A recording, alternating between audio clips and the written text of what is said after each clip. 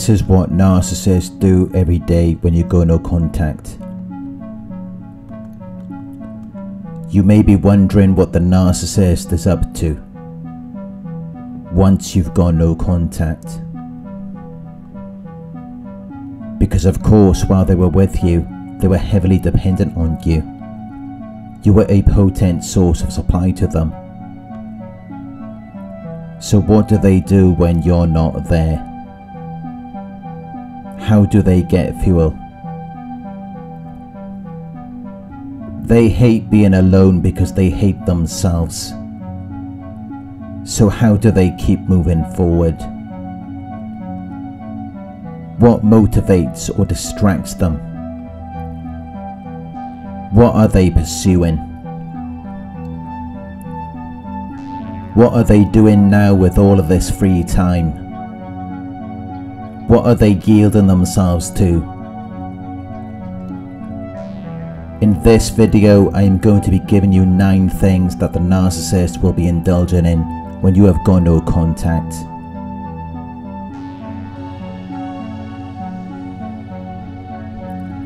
One, they will start looking for new supply. They will be looking for someone to give them attention, validation, praise, and acknowledgement. Because you have rejected them, you've gone no contact. So now they are without a source of supply. And they are left with a narcissistic injury. A blow to their fragile self-esteem which initially triggers anger, resentment, and intense desire to regain control, because in this state they are depressed. They are moody because they have no external means to feel good about themselves. But then they start to search for this drug, known as narcissistic supply, that they are addicted to to feed their mask and avoid their true self. And when they're searching for narcissistic supply, they get excited. They become very eager and enthusiastic because they're thinking about all of the possibilities that they are yet to discover.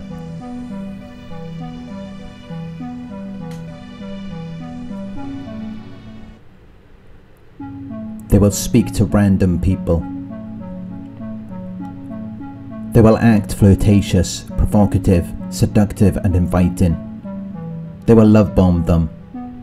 They will text them, call them, and send pictures. Or they may just like and comment on random people's pictures.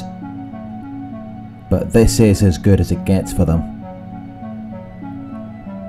Because as we know, after the love bombing comes the devaluation, as no one could ever satisfy their hunger.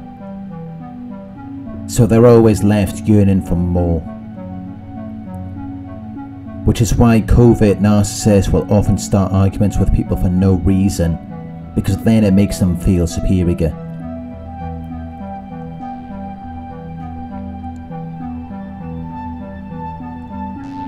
But somatic narcissists may be more interested in hookups and escorts, because they derive their self-worth primarily from their external appearance. They use their bodies to get attention, admiration, and validation from other people, and they will do things that they would never do in your presence. Things that they can only do when they are away from you. Because they have to preserve their image. They have to make everyone think that they are a wonderful person.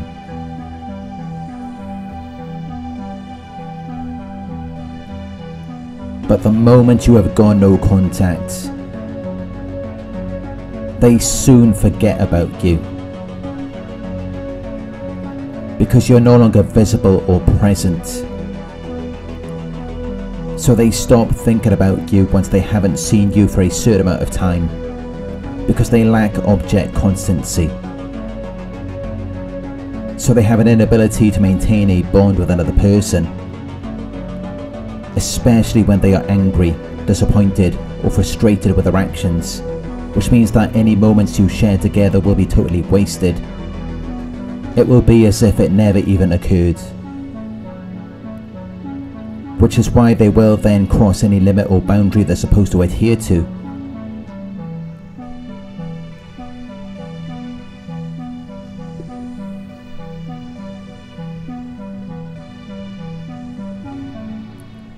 2.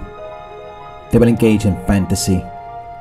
Once you have got no contact with the narcissist, you may see that they have soon love bombed, devalued, and even discarded their new supply, so you may expect them to be miserable. But really, their power lies in fantasy, in the activity of imagining impossible or improbable things, which is why even while they were with you and they were devaluing you, their mind was always on something else. And it's no different even after you've got no contact, because fantasy is their means of escape. It serves as a fundamental psychological mechanism that helps maintain their grandiose self-image. They sustain fantasies as a self-regulation tool to cope with their stress. They have excessive involvement in fantasies regarding unlimited success, power, brilliance, beauty or ideal love. Things that are impossible and cannot exist in reality. Even if they could exist in reality, the narcissist would eventually become dissatisfied and thus destroy their manifestations. But rarely will a narcissist ever take the steps to bring these visions into reality, and instead they will settle for whatever they can find.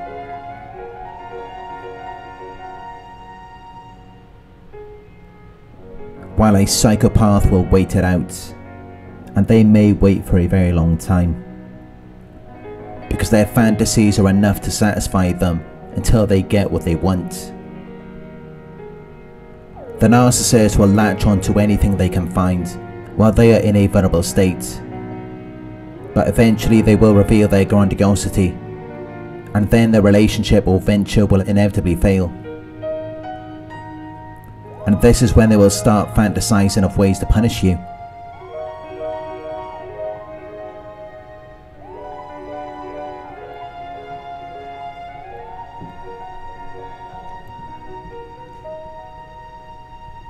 Three, they will act on their vengeful thoughts.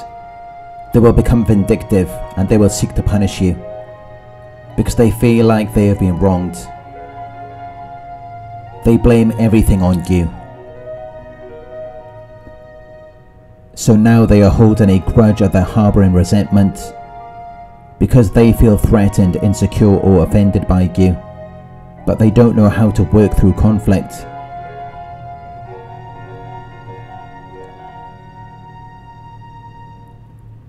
So they develop this get even mentality to where they may weaponize information against you and they may belittle you to elevate themselves at your expense. 4. They will smear you. They will talk about you behind your back. They will say things to your friends or family. Because they love gossiping. It's the duper's delight. It gives them an emotional boost. A thrill from successfully cheating or deceiving people. When they get away with it, it gives them fuel. Which is why they will do anything for it. They will even betray their own partner or their own child.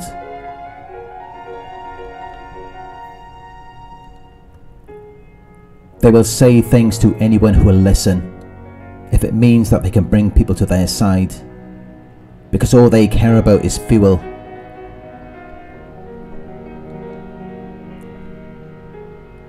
They round up, enlist and enroll their minions and enablers because they feel strength in numbers. They believe that a group of people has more influence and power than one person, which is why they will throw you under the bus for the sake of their recruitment process. And they won't think anything of it. Because there is no loyalty with narcissists. They will cause people to suffer if it means that they can gain a personal advantage for themselves.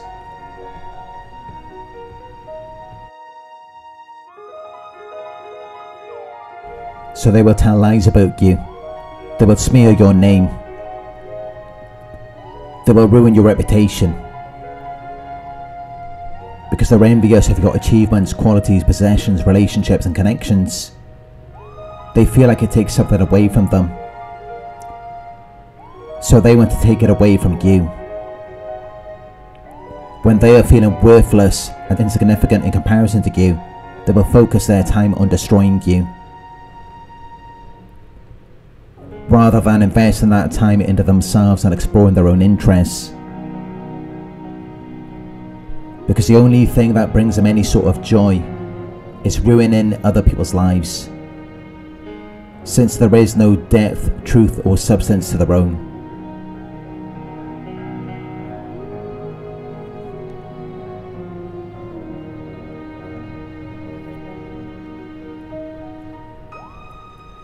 Five, they are planning to hoover you.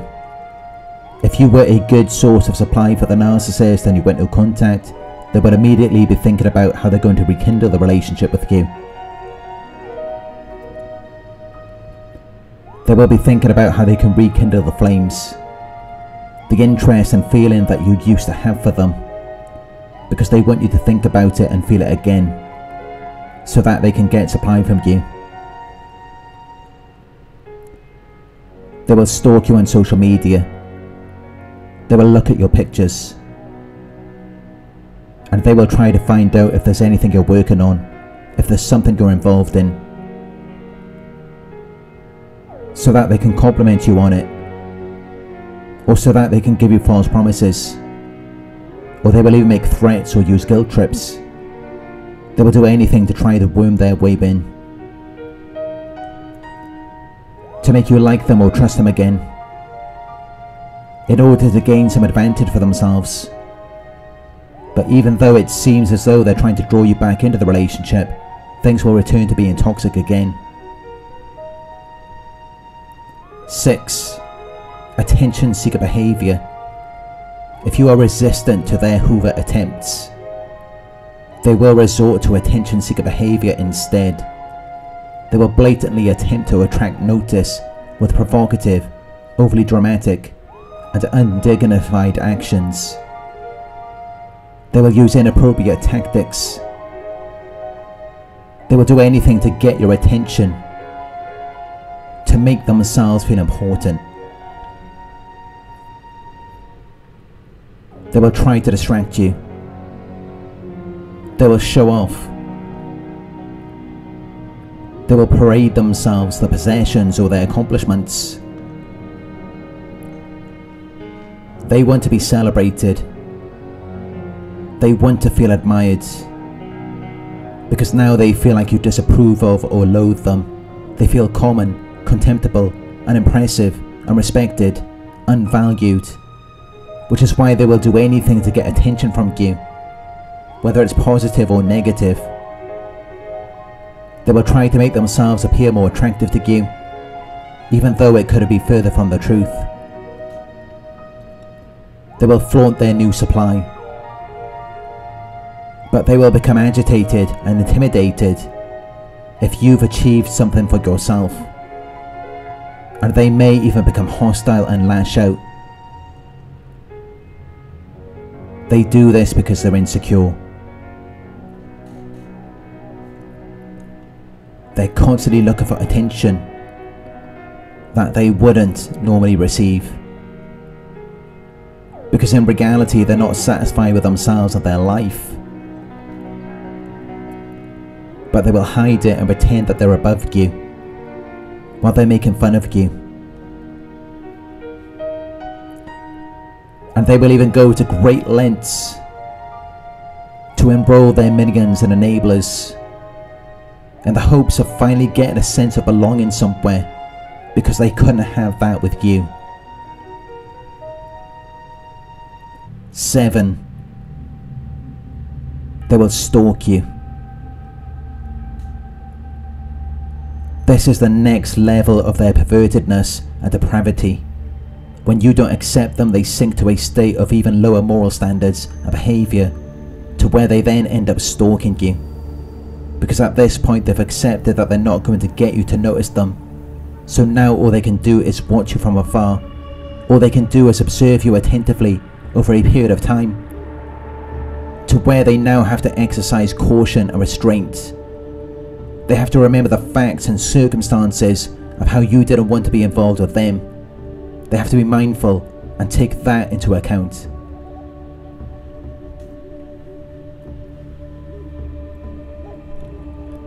So now, although they may be spying on you, they can only do it without getting too close to you, without being closely involved. Because they don't have the option to partake in your existence, you've already rejected and disapproved of them. While they wanted to continue the relationship with you, and to remain as close to you as much as possible. So now they may be angry. They may be huffing and puffing.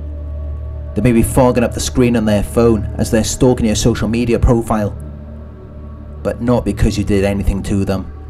You just wanted to protect yourself. You recognize that you were not deserving of abuse. So now they're angry because they realize that you deserve better because you crushed their sense of entitlement which then triggered them to reflect back on themselves. They're angry because they have to deal with themselves now. But at the same time, they're trying to detach from themselves by spying on you. It's a form of escapism. They're trying to escape from their miserable lives.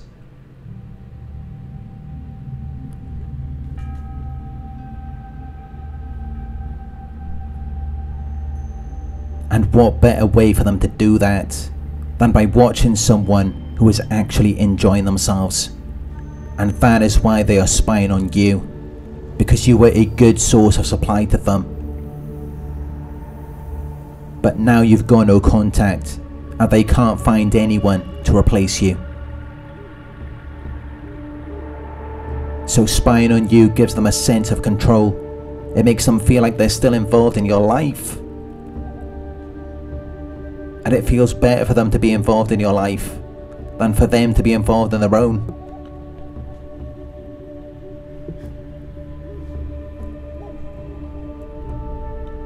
Eight, they will seek old sources of supply. Seeking a new source of supply takes extra effort for a narcissist, and they're very lazy, so they want an easy target. They want an open door.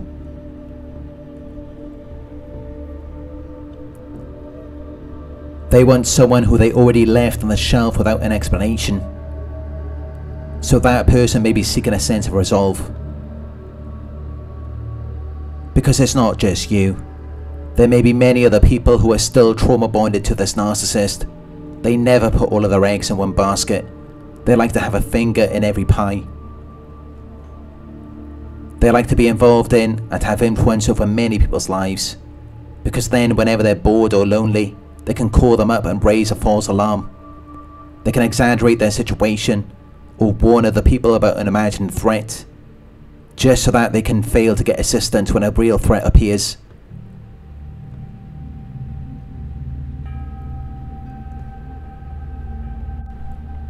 But these won't always be intimate sources of supply. Sometimes they may depend on their family or even your family they will fall back on anyone who will enable them. And these people will typically adore them. They will put the narcissist on a pedestal.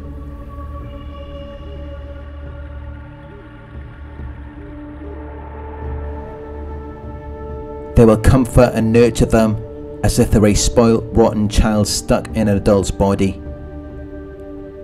They will do anything to get supply. They can meet a random stranger who they do not know someone who they have no interest in knowing anything about. And yet they will still spend time with them if it means that they can get supply. Because all they care about is attention. They don't care about who they get it from. Which is so shallow and superficial. It's so fake.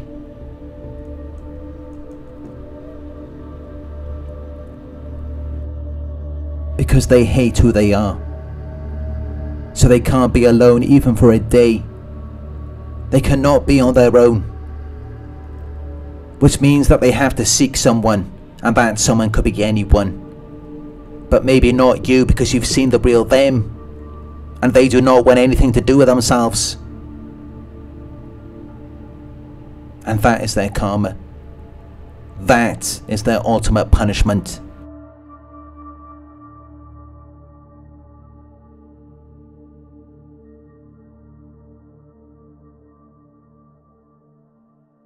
Nine. They will indulge in their addictions. They will get drunk they will use recreational drugs. They will gamble. They will engage in excessive shopping and spending. They will play video games all day. They will watch pornography. They feed their fantasies, just as they tried to feed a fantasy to you. And this is why they couldn't connect to you. This is why they couldn't be intimate with you. Because they have an unrealistic sense of what intimacy should be like. It's based on pictures and ideas that they have formed in their minds, which stimulates them mentally in a way that reality cannot compete with, because they are divorced from reality. They showed no connection to what is real or true. They are only connected to reality when they are with you, when they are present in the act of intimacy, which is why they run away from it because they don't want to be feel vulnerable.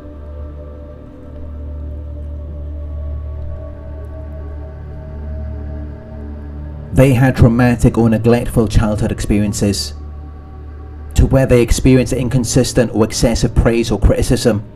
So they will never allow themselves to be vulnerable because they don't ever want to feel that way again. But when they are looking at a screen and looking at random people, it does not require them to be vulnerable. So then that's exciting to them. And it's why they also enjoy getting drunk and getting high. It's why they enjoy love bombing and doing all sorts of unexpected things to where they may even criticize and devalue you.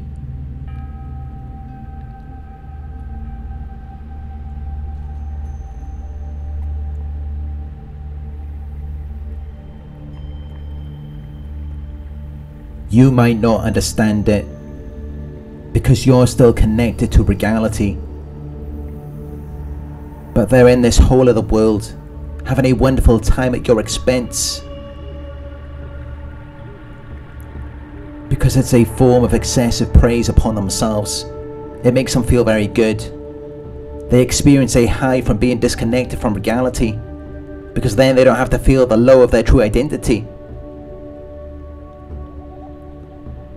And this is why they hate being alone. Because when they're alone, they're left to reflect on their shame and insecurity, with their rotten, decomposing, depraved, and fragmented self which is something they do not want to deal with because it makes them feel trapped and oppressed. It's too overwhelming for them, so they run away from it. And they will make up any excuse to do that. To run away from their shadow. Because the energy is so dark, heavy and dense.